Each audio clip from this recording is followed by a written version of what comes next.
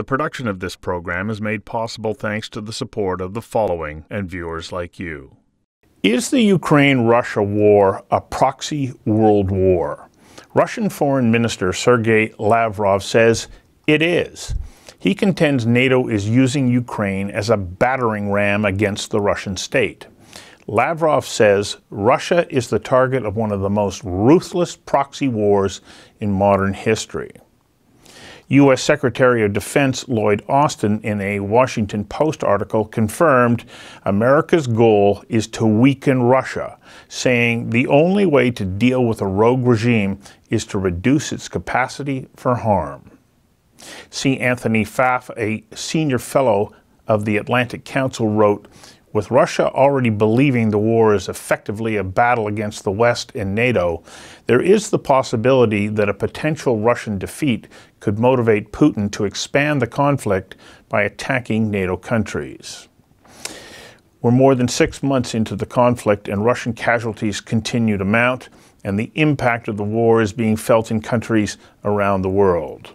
Cut off from normal trade, Russia has now turned to another pariah state, North Korea, for weapons.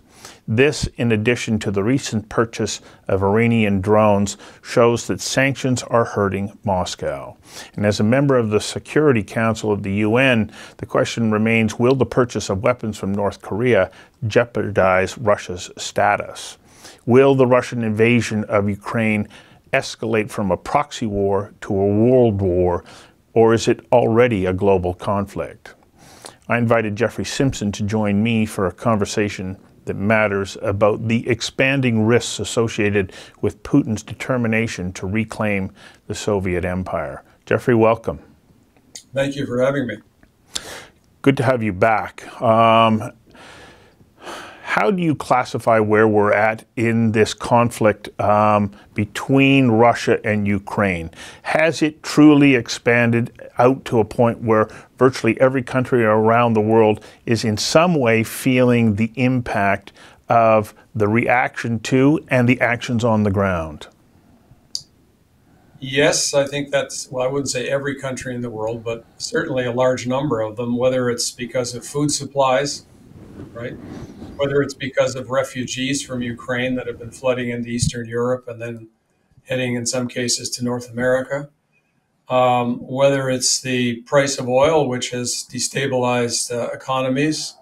Some have benefited from it, like China and India, because they're buying Russian oil at lower prices because Russia has to get has to get rid of it. You mentioned North Korea. Um, you know, you can tell somebody by their friends, right? in life and in politics.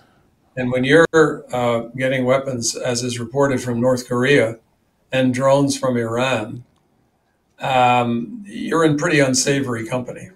If, if, those are the if those are the countries that you're relying on to supply you with weapons for this war, it's kind of a an unsavory trilogy. So yes, the war is having a, an effect uh, in many places in the world the effects haven't yet played themselves out because the winter is coming in Europe. And also, the food limitations in various countries will continue to be present, with possibly destabilizing impacts on governments that can't feed their people in the Middle East or in Africa. So, the reverberations of the war bid fair to go on for, well, a very considerable period of time. Do you believe that this current situation has uh, the capacity to expand as far as armed conflict is concerned? Will Putin feel cornered and then lash out? Well, the question would be lash out at whom? Um, if you listen to his propagandist in chief, uh, Mr. Lavrov, this is a Western inspired attempt to weaken and diminish Russia and therefore the war is actually aimed at Russia, and therefore Russia is uh, within its rights, he would put it this way, to respond in whatever ways it sees fit. Uh, clearly, if Russia is losing the war in due course, they might be inclined to increase the um, stakes, if I can put it that way. I don't think there's any chance of them invading NATO countries. NATO countries have clearly been supporting Ukraine militarily, politically, but they have been very careful not to send any troops or any weapons over the over the Russian border. So, if the Russians were to make some strike against uh, NATO countries or a NATO country, justifying it on the grounds that NATO was trying to do in Russia, there's no evidence of that. What NATO is trying to do is to make life difficult for Russia in a war that Russia started. Uh, there's a school of thought in certain quarters in the United States and in intellectual circles that this war is actually Ukraine's fault that Ukraine should have made concessions after 2014. It should have accepted the annexation of Crimea as a fait accompli. It should have not removed Russian, which is true, Russian language guarantees in the eastern part of the country, and that they are the ones that actually provoked the Russians. This is a distortion of history. Uh, the Russians did not have to invade Ukraine. Ukraine was not a member of NATO. It was not going to become a member of NATO for a long, long time. That had been signaled to the Russians by the French and the Germans. And also, in terms of the European Union, it was going to be a long time before Ukraine would ever join the European Union because its economy and its civil society just wasn't ready. I give you the example of Turkey. Turkey, some decades ago now, uh, asked for the ability to begin to negotiate accession to the European Union.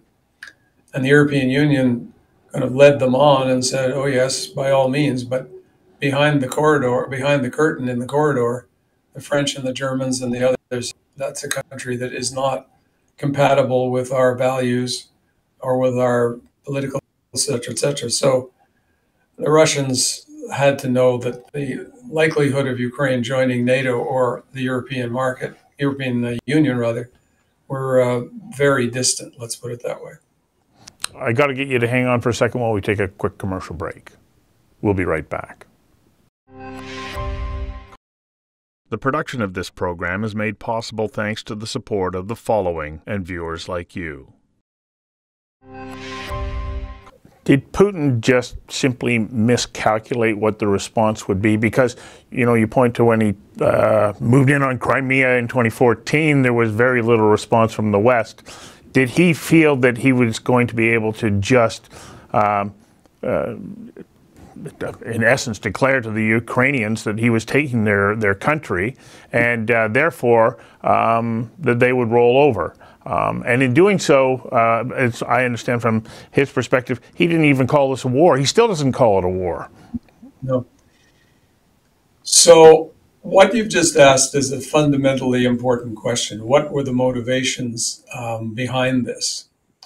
And as sometimes happens in war, there was a substantial misreading on the part of the country that launched the war, in this case, Russia.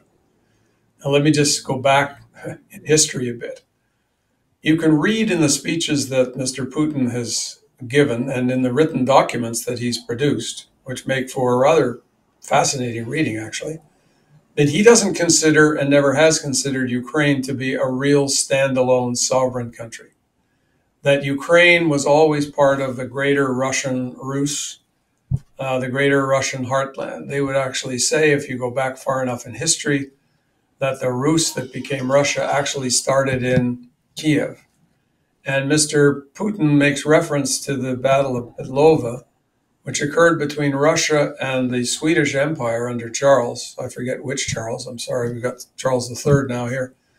Um, and he was a great conqueror, Charles III, but he made the mistake of resting in Ukraine to defeat his troops, and the Russians counterattacked and defeated him. And this was on what is now Ukrainian soil.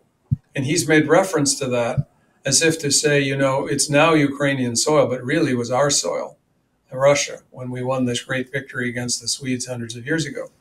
So in his mind, our, Ukraine is a kind of artificial political construction that became part of the Union of Soviet Socialist Republics, the demise of which he's called the greatest catastrophe of the last century.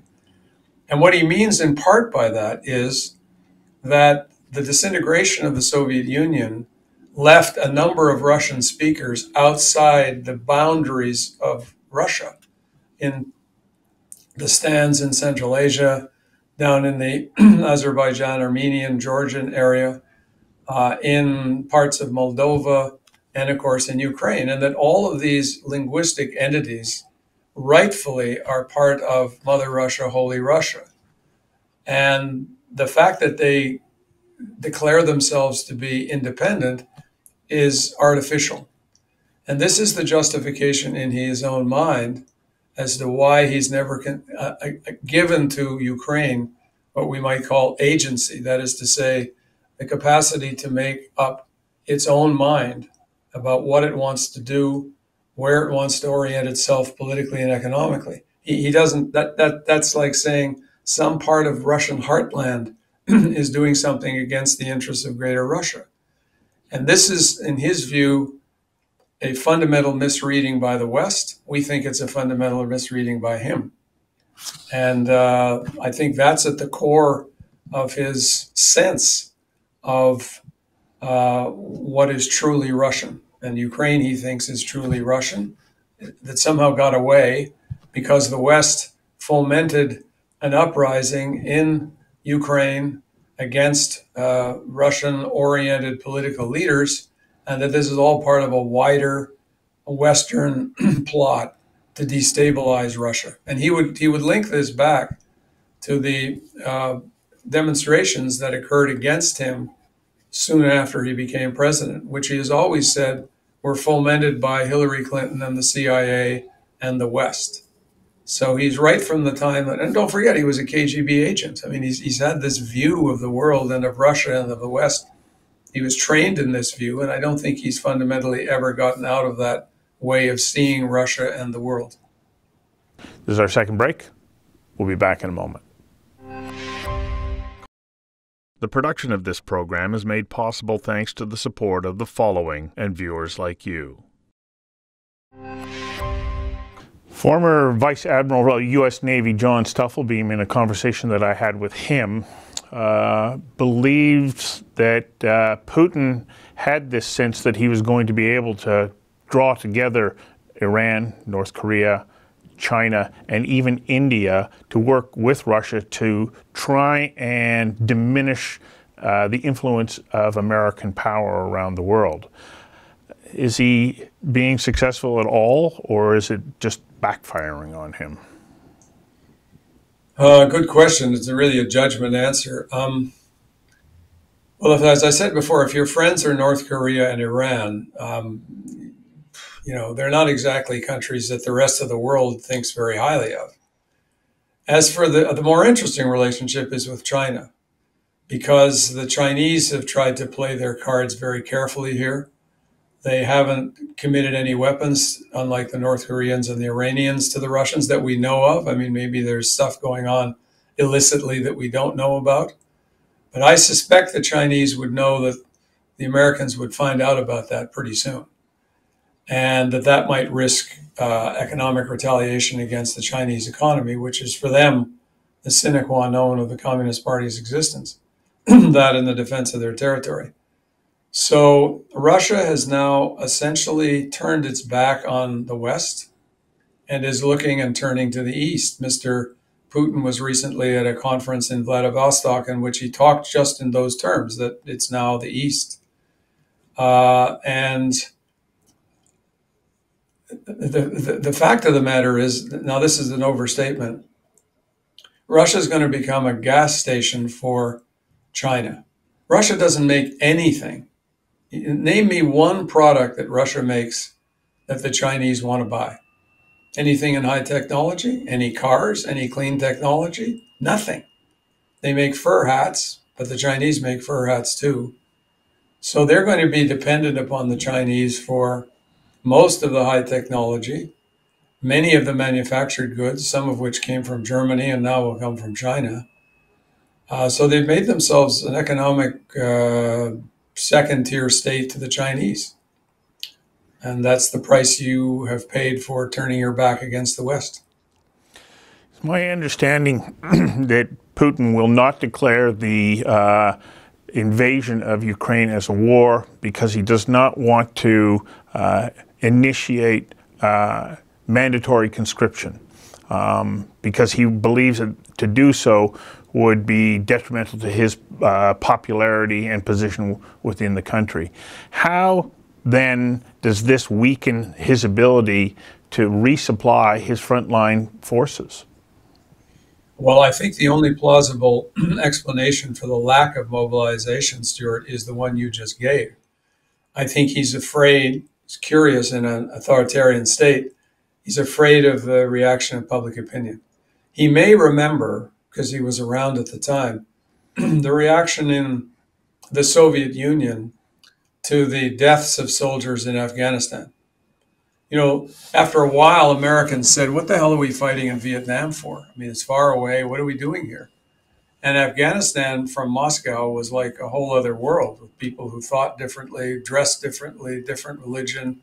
What the hell are we doing in there? And the Afghans, as you know, aided by the CIA, uh, the Mujahideen put up a tremendous guerrilla warfare against the Russians and they eventually left. And that war was very unpopular. There were a lot of body bags that came back. So I think he's got that in his mind and is saying, you know, we've already lost untold tens of thousands of soldiers wounded or dead, and mobilization would raise the level of conflict quite a lot and bring the war into the homes of people all across Russia. And he obviously is very concerned about what the effect of that might be on what we might loosely call public attitudes. I won't call it public opinion. So I think that's the only plausible explanation. And that's why he's been asking for volunteers from Chechnya and from Syria, taking arms from North Korea, offering all kinds of inducements for young people to sign up, bonuses, job guarantees, etc., etc. So he's trying to do that. The, the problem with that, there are many problems, and I'm not a military expert by any stretch of the imagination, but you're trying to train up young people who've signed up in a very short period of time. We saw that when they went into Kiev or tried to. And the soldiers who were captured or killed were kids who hadn't had very much training because he thought the Ukrainians were going to wrap their arms around the Russians and welcome them as their as their cousins. And the more you put largely untrained soldiers into the battlefield with sophisticated weapons, um, the less effective that force is likely to be because they simply get into vulnerable positions. So I think he's in a bit of a box in terms of the ground forces that uh, he has. Numbers he has. Numbers he has. Quality, not so sure. Well, it's my understanding that at the time of our recording here, the estimates on Russian casualties could be anywhere between 60 and 80,000. That's not everyone has died, but they've been injured and are, are no longer uh, eligible or available to be involved in armed conflict. The big challenge for Putin is then how does he refill those uh, frontline requirements without completely diminishing the rest of his army. So, what has this done to the Russian army in effect and the impression of what the uh, lethality of the Russian army might be? Well, the lethality of the Russian forces, let's put it that way, remains pretty high. They still have great artillery capacity, they still have air force capacity they still they're bringing in drones, but they have their own. I mean, from an equipment point of view, they may not be quite up to Western standards, but they've got a lot of equipment.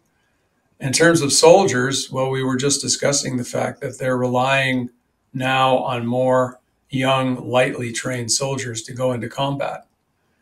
Uh, remember, too, that the war is largely being fought on Ukrainian territory. And the Ukrainians know the territory quite well by one means or another and they have considerable intelligence from the United States in terms of the eyes in the sky that the Americans have, including the drones that they themselves have now, um, including, including in terms of human intelligence. Uh, I mean, they they. I'm again no military expert, and I'm not a correspondent over there. I'm only regurgitating what I've read from people whom I respect. The Ukrainians are fighting terrain that in terrain they know they're fighting for their homeland. They have figured out that frontal attacks and assaults on Russia is not really going to do it for them. So they've been pinpricking the Russians, if I can put it that way. And the new weapons they're getting, which allow them to propel uh, missiles well behind Russian lines and blow up their uh, weapons depots and their command systems, is having an effect. So they're they're they're acting in an extremely intelligent military way. It seems to me vis-a-vis Russia, given the disproportionate number of boots on the ground that the Russians have. Third and final break. We'll be right back. The production of this program is made possible thanks to the support of the following and viewers like you. So, based on our conversation at this point, how would you summarize what you believe are the risks going forward? Will this escalate, or is it now fairly well contained and moving towards some uncertain conclusion at this point? Do we, you know, risk expansion, or are we going to be uh, witnessing um, more of the same? Well, the one part of the one expansion we're not going to see is Ukrainians invading Russia, even if they could. That's one expansion that isn't going to happen. It's not like a situation where there's a sovereign line between two countries and the war goes back and forth. That's not going to happen. The Ukrainians have neither the forces nor the intention to do that, and NATO wouldn't let Ukrainian do it. Ukraine do it, frankly. So that's one expansion isn't going to happen. Could the level of violence go up? Yes. Um, you know, the Russians still have, uh, you know, lots of stocks of weapons and planes, and they've got these new recruits, and they could just throw more and more fodder into the battles and try and push the Ukrainians back. So that's possible. As I said before, I don't see any circumstances under which Russia would invade a NATO country and therefore activate the article of the alliance that causes all countries to come to the aid of a member country if attacked uh, you know, that, that would be crazy from Russia's point of view. So I think we're in a situation where, and we've seen this in wars before, where neither side can win, but neither side, for the moment, but neither side can afford to lose. I mean, Ukraine can't afford to lose because it would mean the dismemberment of um, a big chunk of their territory and a great weakening of their ability in the future to function as a sovereign state. They'd be cut off from their ports. They would have lost Crimea. They would have lost some of their agricultural capacity. Uh, if you if, if you just leave the Russians in charge of where they are right now, that would be a loss for the Ukrainians. Not as bad a loss as if the whole country had been overtaken by the Russians, but it nevertheless would be a big loss. The Russians would lose not because they're going to lose any of their territory because I personally don't think the Ukrainians have the military capacity to go back into Crimea. But they would lose in the sense of they started this with a series of objectives, few of which have thus far been realized.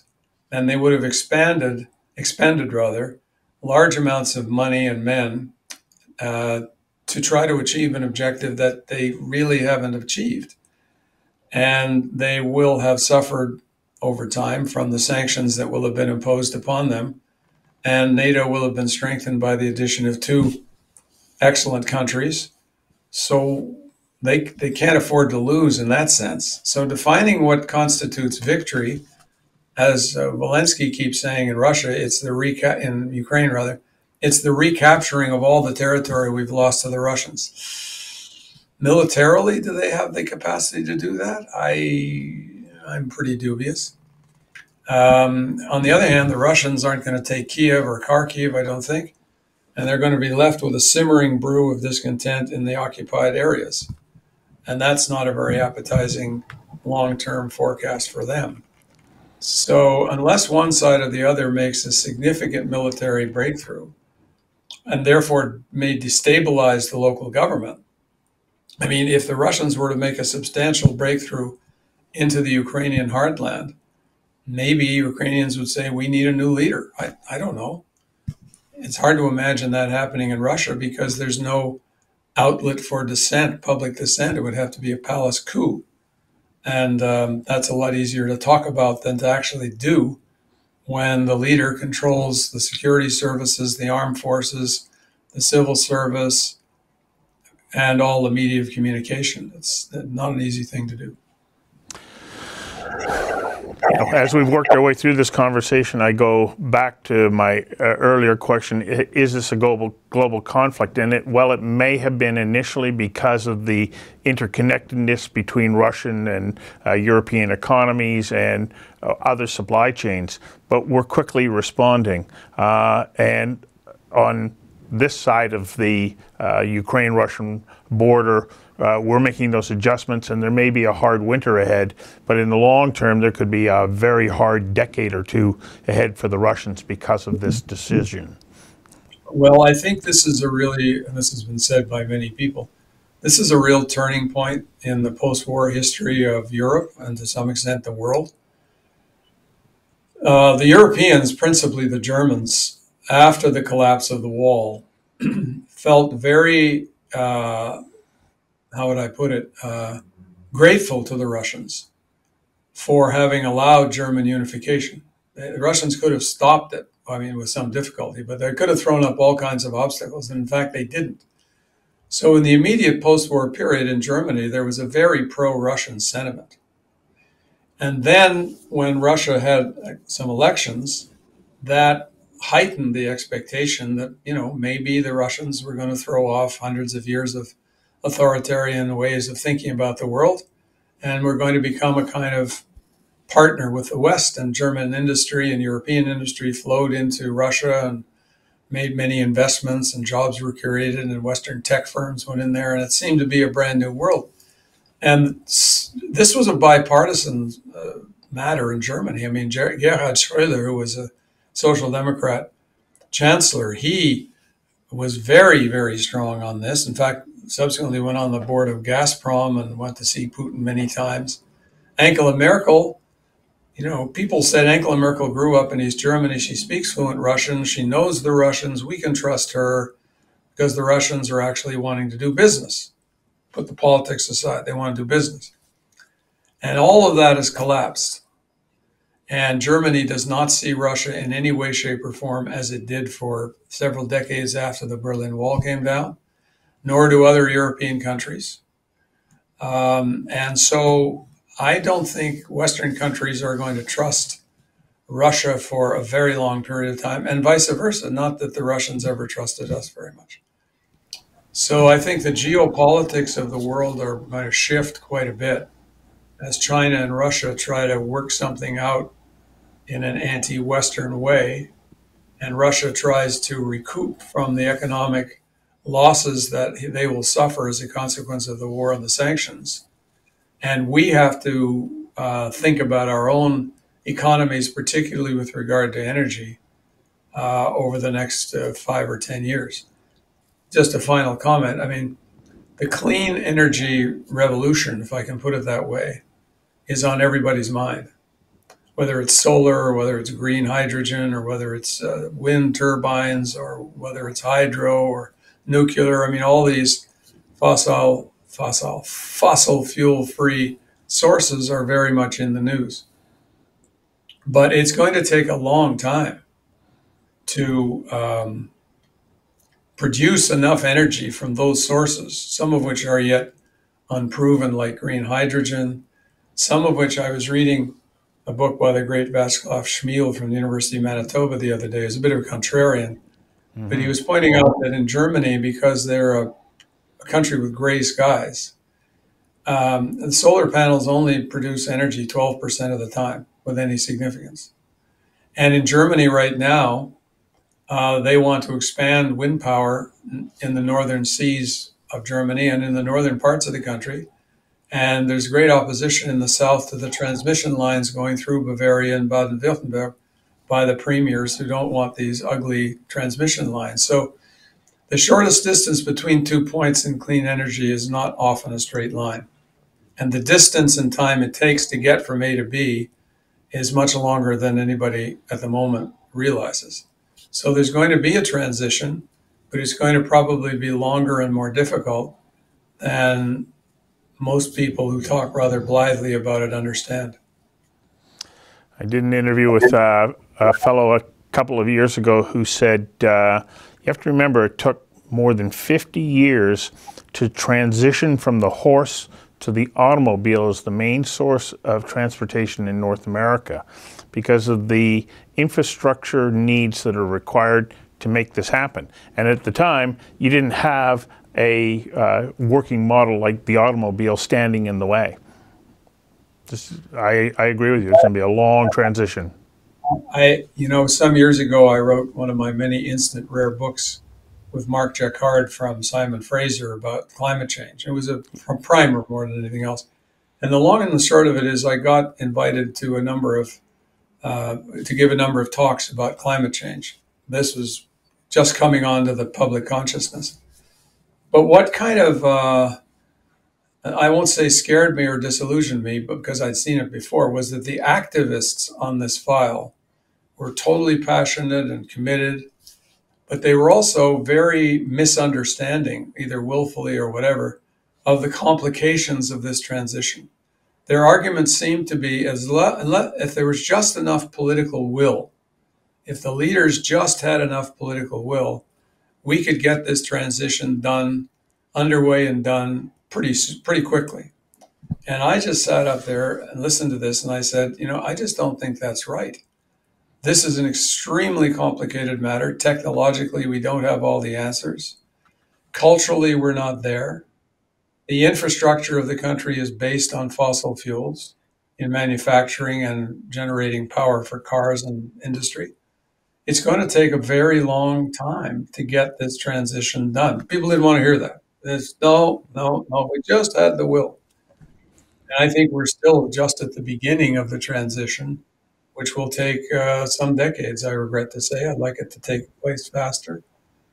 But, uh, and the other thing is, since we're talking about Russia and China, countries in Europe, to a lesser extent North America, are trying to make this transition happen.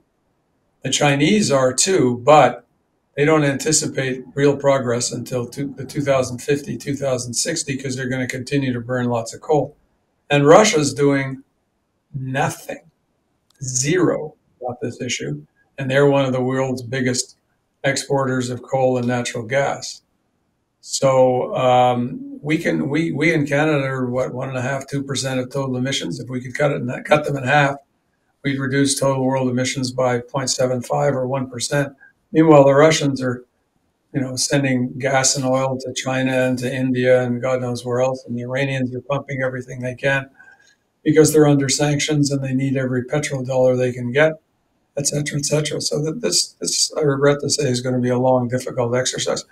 and the only good thing I can say about this war is that it has had the effect of two things. It has enjoined countries to realize how uh, vulnerable they are, depending upon their circumstances, to unpredictable sources of, uh, of carbon making fuels. In this case, far too dependent on Russia, but it could be far too dependent on the Middle East, which is an unstable part of the world, as we know. So that, I think, has had a salutary effect.